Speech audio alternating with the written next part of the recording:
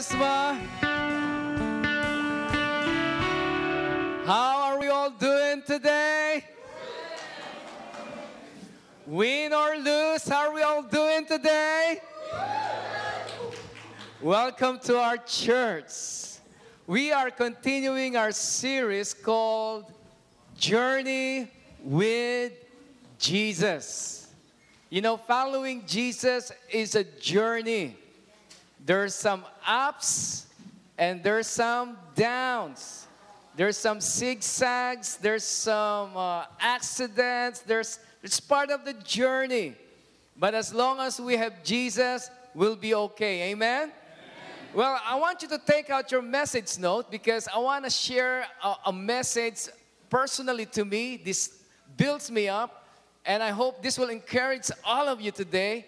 I want you to look at uh, the stage right now, and we're gonna play a game. This is called Will It Float or Will It Sink? Everybody say with me, Will it float or will it sink? Say it again. One, two, three. Will it float or will it sink? I want to use this as a visual illustration for my message today. So, what do you think? This item gonna drop in this aquarium, will it float or will it sink? Where's your faith? oh, you see it's standing. What about this one? This is the number one selling canned food in Hawaii. will it float or will it sink? Still standing, right? Okay, let's try it harder. An egg. What do you think? Will it float? Will it sink? Will it float? Are you kidding me? let's let's this one is harder. Will it float or will it sink? Huh?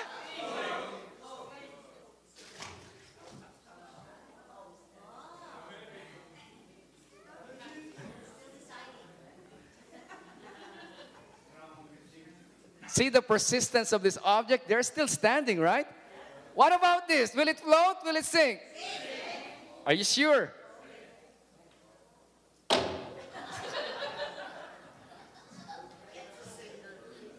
what about this guy?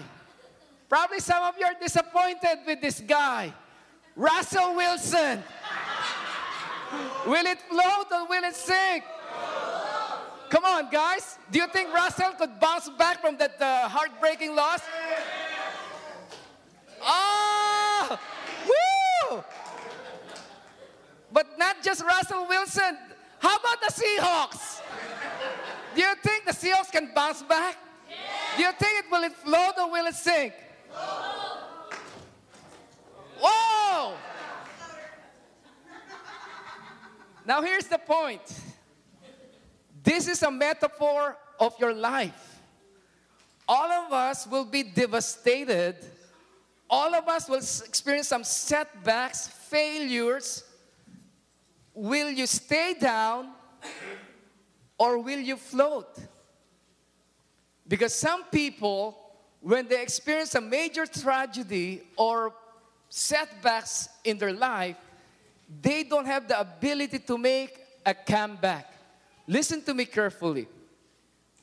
Your personal victory in life is directly connected with your ability to bounce back up right after a major fall. I want to take your attention to the Bible and ask this question Will it float or will it sink? Mark chapter 6 I want you to take your Bibles with you or open it or look at the screen right now. Let's read it all together. Read it aloud. Corinthians 1, 2, 3. When evening came, the boat was in the midst of the sea. He was alone on the land. He saw them straining at rowing, for the wind and waves were against them. Will it float or will it sink? Let me give you the setting or the background. Look at this, the picture. This is up north of Sea of Galilee in Israel. It's snowing. It's like Mount Rainier, right? You go to Mount Rainier where there's summer, winter, spring, or fall, there's still snow. There's a place in Israel up north of Sea of Galilee. It's snowing there all year round. And down south is a Judean desert. It's below sea level. It's hot. It's muggy. It's dry weather. And it's like 100 degree weather right there. Could you just imagine this? Up north, there's snow. And down south, it's heat wave. And what a perfect recipe that the water or the moisture or the air coming from the north and the south, it will meet in the middle of Sea of Galilee. And no wonder, whilst the Sea of Galilee is known for notorious tsunamis, typhoons, and all of a sudden, uh, big waves before during the time of Jesus and even today. Look at the news a few years back. Tiberias destroyed 20 dead at Jewish city at Sea of Galilee. So now you have a visual picture. Jesus' disciples were rowing to the other side of the lake, and all of a sudden, high winds or strong winds and high waves buffeted this ship, and they were just straining. Look at the verse again. Let's read this again so that you have a mental picture. Can we put, put the, the, that memory verse again in Mark chapter 6? Let's read together, Charisma. When evening came, the boat was in the midst of the sea. He was alone on the land. He saw them straining at rowing. The word straining means going on circle, going nowhere. They got stuck. And will they float or will it sink? You know, one of the hardest experiences in life is being stuck. How many of you have the experience of being stuck in the traffic along 405 or in the I 5? How many of you experience being stuck, waiting in line, right? When you go to the grocery stores, do you look at the shortest line and sometimes you even count the, the, the stuff in the grocery cart of those people because you don't want to be waiting in line? How many of you get stuck in a habit that you're trying to beat?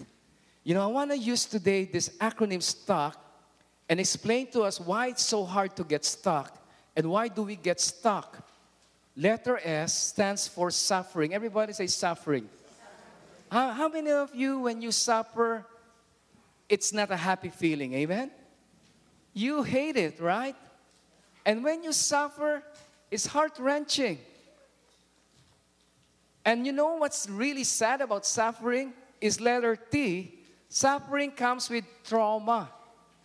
That's why we have this saying today or findings in the medical field post traumatic stress syndrome. It's like a flashback of what happened before and it's still fresh in your memory and you're suffering from trauma. And I'm sure some of us today are suffering from the trauma of how our Seahawks lost. You know, I was calling my coach the next day. I just need some uh, encouragement. I called my coach, and the secretary said, I'm sorry, he's out for the day and probably for a week. Why? He's depressed right now. and I called my pastor friend, let's go out and have lunch together. And he hosted a Super Bowl party too. He hosted a Super Bowl party too. And, and when Kearse caught that miraculous catch, and I said, Oh, it's a miracle. And all the students ran toward the big giant screen and took out their camera phone for the next play. And all of a sudden, they got stuck. they were not even to press the button. I said, What happened? It's traumatic, right? And some of you are laughing at us right now. but what I'm trying to say, trauma is you get stuck there. And another thing is hard when you get stuck is, you know what? Sometimes you're unwilling to call on God. Check this out. The disciples, they just witnessed a miracle. Jesus fed 5,000 people with few loaves of bread and two fish. Right after the miraculous display of God's power, God said, Go ahead, go to the other side, and I'll meet you on the other side. No one even bothered to pray. Listen to me carefully, Charisma. When you are stuck and you're unwilling to call on God, you get deeper in the dumps. Come on, somebody. The more you get discouraged. And that's what happened to the disciples. They're just doing their best, straining and rowing. Probably they're saying, Hey, fishermen, we're professional. Peter, James, John, this is our field, this is our turf. We know the Sea of Galilee. We passed by this side so many times. No one bothered to pray. And here's another problem, church, with being stuck. Get comfortable staying stuck. It's like a doctor asking a patient, Would you like to get out of your depression? Or would you like to get out of that pain? And sometimes you say, I don't know. I don't know what happiness means. I don't know. I, this is a new normal for me. And sometimes we get stuck in the pain and we make a pet out of it. And another reason why we get stuck in life, I believe this is very important. Let's read this together. Kept looking back. Let's read it again. Charisma, one, two, three. Kept looking back. Now, here's the thing, Charisma. You have two choices look back and compare, or look ahead and dream again.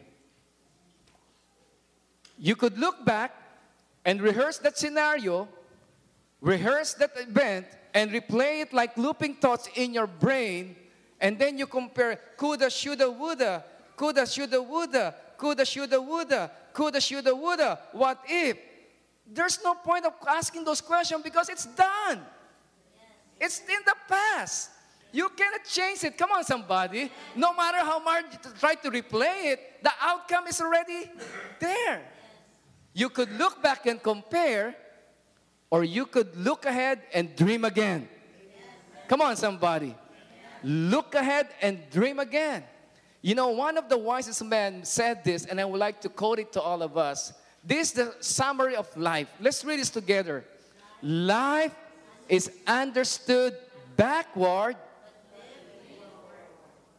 Let's read it again. Life is understood backward, but live forward. We learn from our past. The past is a good teacher, but it is a bad, bad, bad master. We just take a glance and look back. It's like when you are driving, you look at the windshield, it's wide. Every now and then, you look at the rear view mirror to see where you come from and to see if there's a police behind you. you know, just kidding. But the, the, the windshield is wide.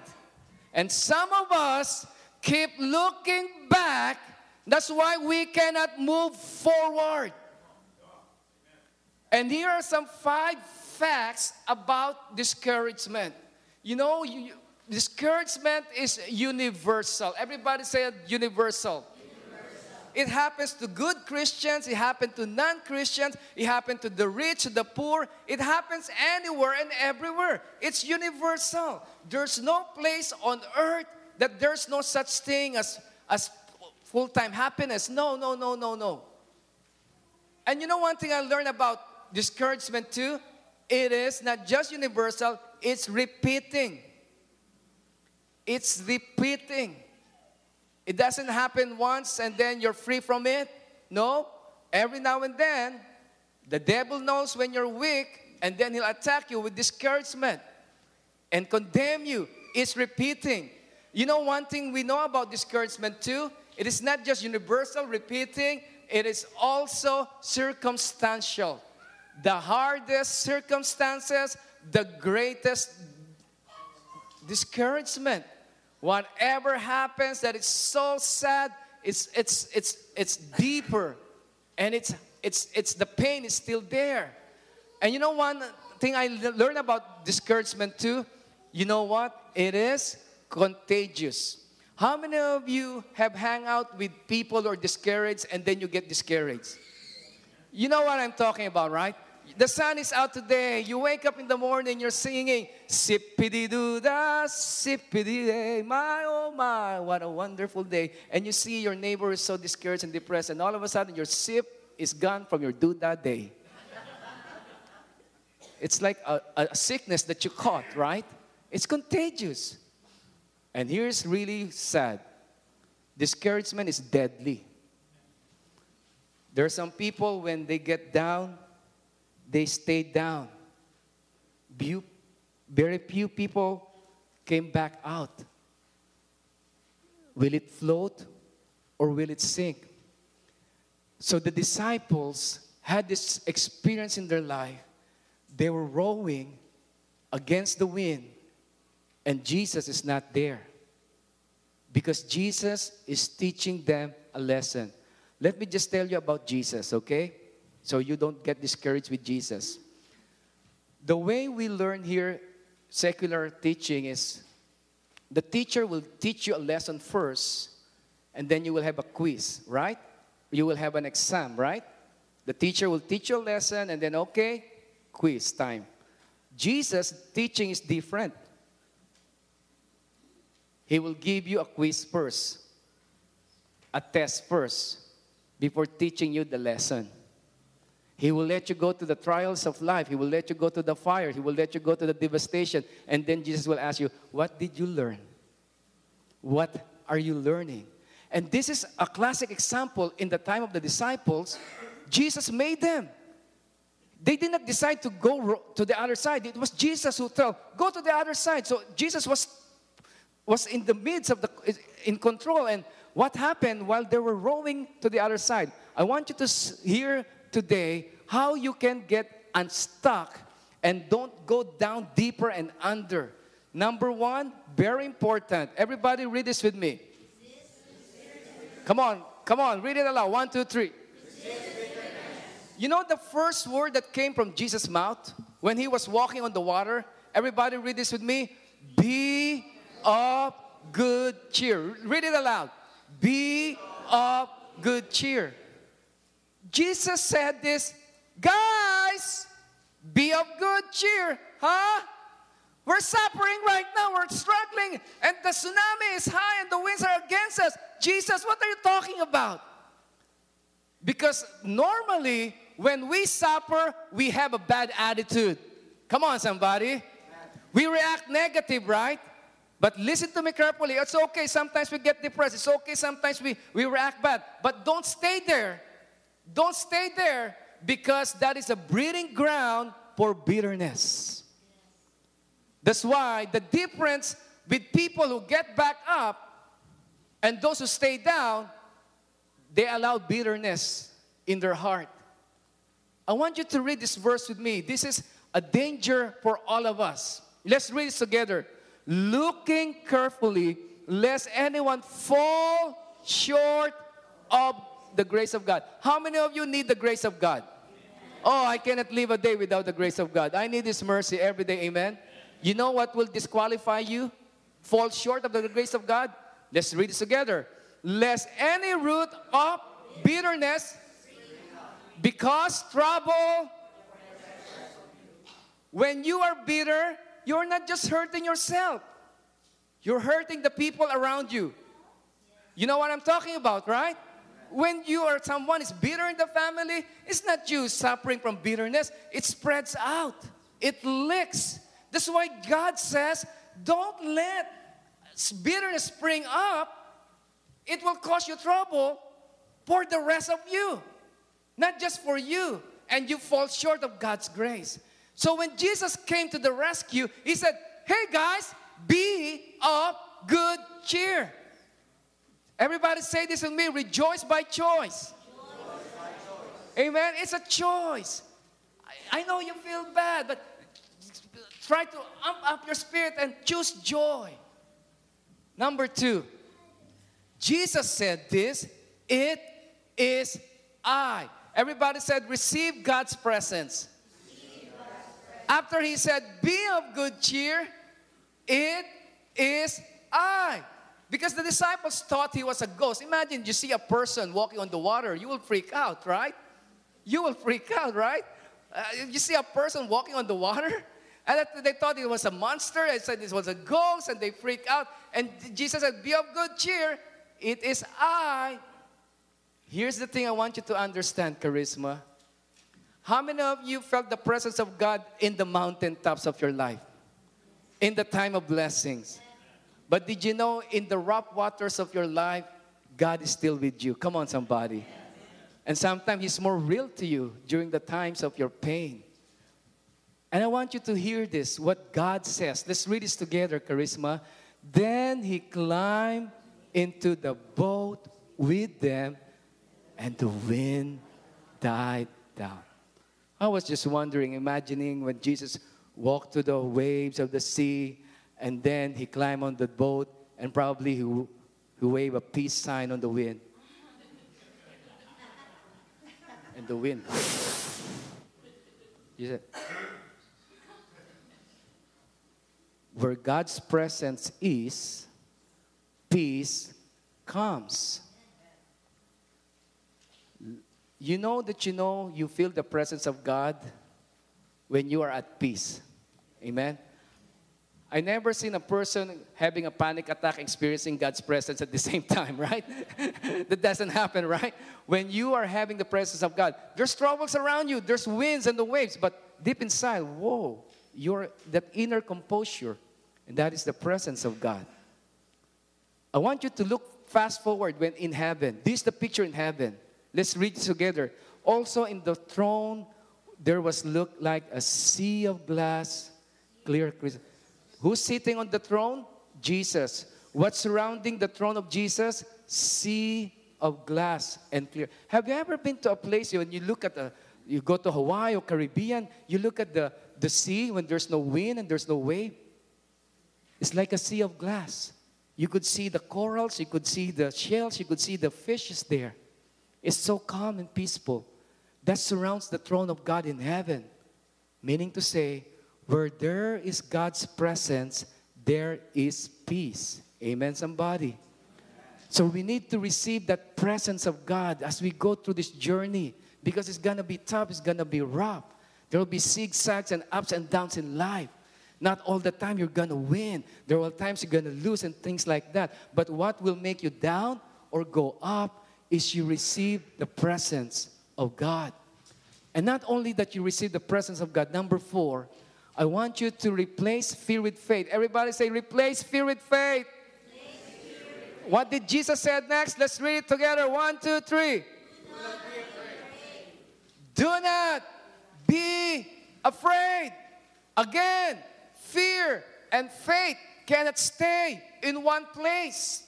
When fear knocks at the door of your life, send faith to open the door and fear will run away. How does fear comes to us? Fear comes by hearing and hearing and hearing bad news. That's why we get afraid. We hear and hear bad news. How does faith comes to us? By hearing and hearing, hearing good news, the Word of God. Some Christians are complaining, oh, God is so silent in my life. I don't feel the presence of God. The question I'd like to ask is this You cannot complain about the silence of God if your Bible is closed. Amen. It's like complaining to your friends you don't receive a text and your phone is dead. Amen. Come on, somebody. Amen. Right? You complain the silence of God. Do you read the Bible? Open it. This is like a mouth. Open it. It will speak to you. But you go, oh, God is so silent. I don't feel His presence. Have you opened the Bible and receive a promise of God to your problem? Complaining about the silence of God and your Bible is closed is like complaining you don't receive a text because your phone is dead. Do not be afraid. Why? Let's read this together. This is awesome. This is from Calvin Coolidge. Let's read together. Press on. Nothing can take place of persistence. Talent will not. Nothing is more common than unsuccessful man with talent. Genius will not. unrewarded genius is almost a proverb. Education will not. The world is full of educated derelicts. Persistence and determination alone are the overwhelming power. Everybody saying, let's move on. Come on, let's press on. Amen. Believe God's power. And not only that, look at this. Look at the next slide with me, Charisma. I want you to rely on God's power. Why? Your God can walk on the water. That's how powerful your God is. He is not confined by gravity or buoyancy.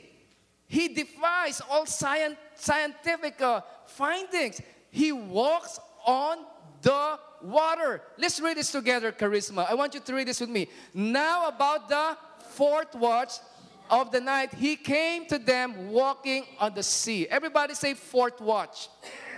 What is fourth watch? It is the Jewish time, re- reckoning of time.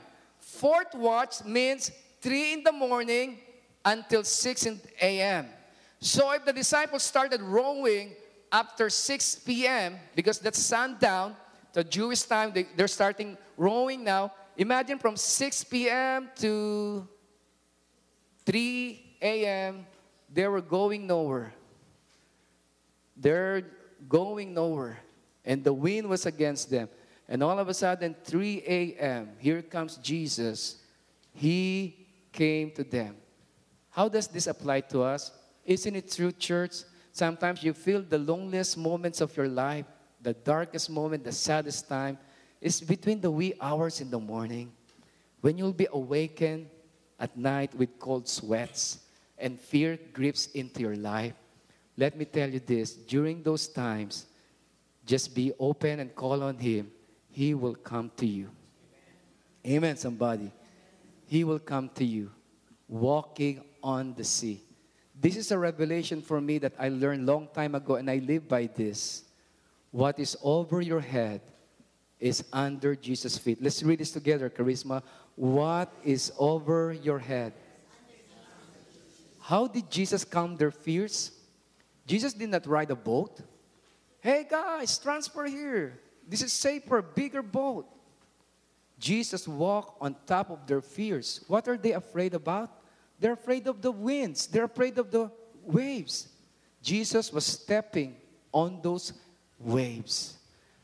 Whatever is over your head is under the feet of Jesus. Sometimes you get confused. Oh God, how am I gonna pay for this? Oh God, how am I gonna have this? Lord God, how am I gonna move on with this? Oh God, how this struggle be done? And you keep on thinking, you get confused. Remember, what is over your head is under the feet of Jesus. And I speak this over to you today. Cancer is at the feet of Jesus. Your struggle is at the feet of Jesus. Your sorrow is at the feet of Jesus. Whatever you're going through, Jesus is stepping on it and He is in control and He is authority and He has power to change the situation in a bit because nothing is too hard for our God. What is over my head is under the feet of Jesus. So just keep rowing, just keep sailing. Oh, everything will be taken care of. Come on, somebody. And last but not the least, I want you to understand this too. Remember God's promise. Everybody say this. Remember God's promise. What was the promise of God? Let's read this together. Immediately, Jesus made his disciples to get into the boat. So, go on ahead of him too. While he dismissed the crowd. What's the scenario? Jesus fed 5,000 people. And those 5,000 people want to, to, to, to, to snatch Jesus and, and lead the revolution in Israel. And Jesus did not come for rebellion. So he hid away, he hid away to pray. And he, he told his disciples, go ahead. So probably he, the crowds will follow the disciples and Jesus is not with them. He dismissed the crowd. Here's the thing. How many of you know this is Jesus like forcing the disciples? Everybody say Jesus made his disciples. How many of your parents? How many of you know sometimes you made your kids to eat vegetable? You know what I'm talking about? They don't want to eat the broccoli, right? But you eat it. you made your kids to eat vegetable. As, as if you are forcing it. Come on, open your mouth. This is good for you. It tastes like gummy bears. and then you trick them, right? You made them eat vegetable. This is what Jesus did. He made the disciples go ahead. So listen to me carefully. It doesn't mean when, when you're Jesus, everything will be fine and dandy. Hello? It doesn't mean when you're obeying Jesus, everything will be smooth. Come on, somebody. There'll be rough times too. Come on, church. This is a perfect example. Jesus made his disciple get into the boat, and then here comes a tsunami. But Jesus said, Go ahead of him to where? Bethsaida. God did not say, Go ahead and then go under in the middle of the lake. God said, Go ahead and you will cross over to the other side. They forgot that promise and they panicked. So I challenge you today what are some of those promises of God that you're holding on? Fight for it, hold on to it. It hasn't happened yet, but believe it will come to pass. And this is one promise I want us to claim as we go to this journey with Jesus. Isaiah 43 1 to 3 in the message version. Let's all read this together, Charisma. But now, the God who made you in the first place, the one who got you started, don't be afraid. I redeem you. I've called your name. You're mine. When you're in over your head, I'll be there with you. When you're in rough waters, you will not go down. When you're between a rock and a hard place, it won't be a dead end because I am your God, your personal God, your Savior. I paid the huge price for you. Now, after Jesus stepped into the boat, he said, Be of good cheer, do not be afraid, it is I. Wind stopped, and they keep rowing. What happened? Look at the ending of the story. I want you to read this with me at the next slide. When they had crossed over, they landed at Gennesaret, that is another word for Bethsaida, and anchored there. As soon as they get out of the boat, people recognize Jesus. They ran throughout the whole region and carried the sick on mats to wherever there he was. And wherever he went into the village, towns, countryside, they place the sick in the marketplaces. They beg him to let them touch even the edge of the cloak. And all who touched it were. No wonder why the devil wants to kill them with these storms. Because at the end of the other side, marketplace, villages, towns, people will be waiting, and Jesus will touch them and they will be healed. Charisma, let me just prophesy this to you. The attacks you're experiencing right now is the devil knows you're a threat to him. And the devil knows you're almost there. And he will try to disrupt you and distract you. But you don't listen to the voice of the devil. You keep pressing on. Even though you don't feel it, you keep fighting it and fighting for your dreams and staying for God and living for God. And I tell you, blessings and favor are waiting on the other side. Come on, let's cross over the other side. The other side of depression is joy and happiness and fulfillment of life. The other side of barrenness is a multitude of children. The other side of the cross is resurrection. The other side of your, your defeat is victory overwhelming for you. Let's go to the other side. Don't get stuck. You know, if there's one person that amazing story, true story, they made a movie of his biography of his life. How many of you heard uh, watched the movie Unbroken? Unbroken by uh, directed by Angelina Jolie. It's a true story of uh, Italian American immigrant named Louis Zamperini. Let me just share this story. It's amazing. Only Jesus could do this. You know, this Italian American migrated here to America. He was always in trouble, juvenile court, juvenile jail time, because he's in trouble. he is so fast with his feet that he could go to the store and and, and, and, and get some booze and get some uh, candies and run away and no one could catch him. And then he ended up in the Olympic team as a runner. And during that time, the 1930s, during that Olympic 1930s in Berlin Olympics, he ran so fast that even Adolf Hitler saw him and said, I want to meet that guy. So Louis Zamperini became the talk of the town. And he was preparing for the next Olympics to be happen in Japan. And we all know the sad story happened. World War II broke. And Louis Zamperini's dream to go to Olympics did not happen. He ended up joining the US Air Force as part of the, of the military. He was flying airplanes. And one day, his airplane crashed in the Pacific Ocean. Would you believe? For 47 days in the middle of the ocean, he still survived. He lost 100 pounds. 47 days. 2,000 miles ended up in an island. But the problem is, this island is under Japanese regime. And there he begins torture under the man called the bird. His name is Matsuhiro Watanabe. He's called the bird. He will really get into you, punch you, kick you, and just despise you and torture you, and then will behead you. And through that moment of his time, the war stopped and the prisoners of war were released. But when he got back to America, Louis Zamperini is a basket case. He said, Every night I will have the dream about the bird.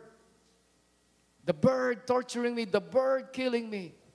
He had suffered from post traumatic stress syndrome. And he became alcoholic.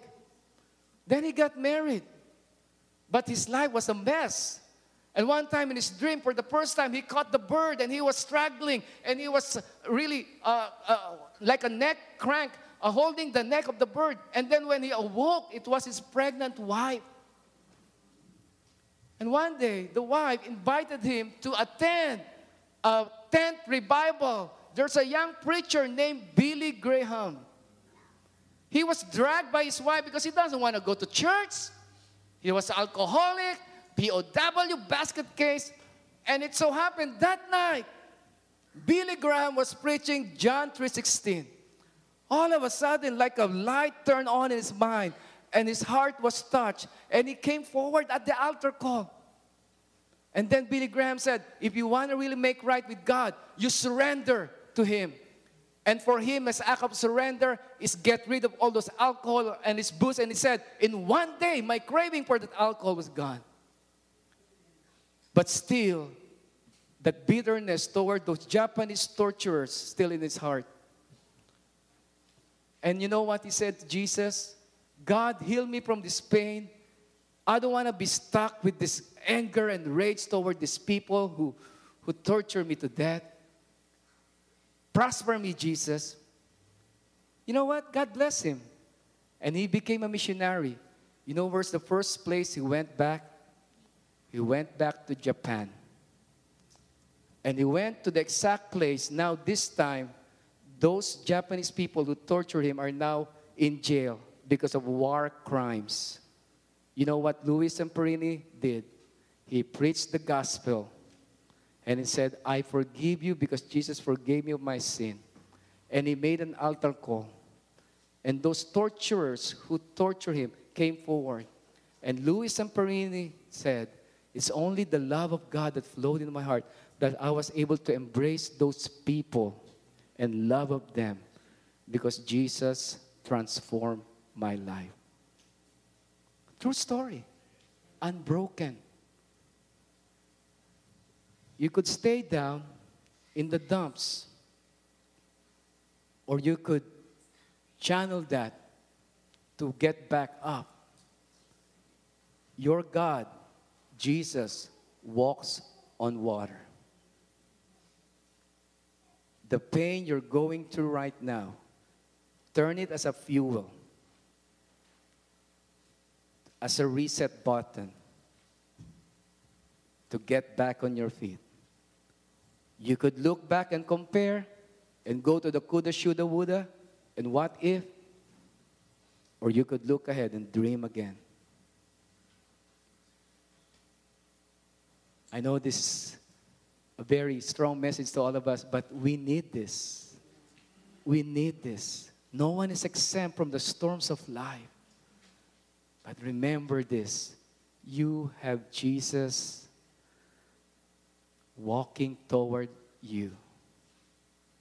That's why I love Jesus. When he saw the 12 suffering, he is really a brother. He is not a bandwagon fan. He went to the 12s. That's why, for those of you who are trying to sell your Seahawks jersey, you are not a true fan. We go down and we go up with the Seahawks. Come on, somebody. and you cannot attend this church anymore if you if you no no just kidding. why did why did I end up there? No no no no no, just kidding just kidding. What what I'm trying to say, Jesus Christ is with this team not only during the high moments, not only during the victory parade. Jesus went with his team when they were struggling and dying at the middle of the lake. That's your God. He loves his team. He loves his people.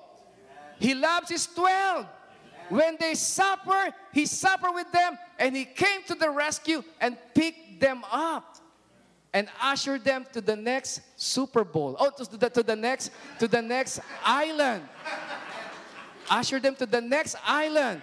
And there were people lining up in the street and Jesus healed them. So today, whatever is putting you down today, pain, suffering, job loss, broken heart, you have a choice. You could stay there or you could get back up. I want us to stand on your feet today. I want us to sing the song that we, they sang earlier. Spirit leads me where my trust is without border. I know some of us are going so from deep waters. Let's call on Jesus, and He can rescue us.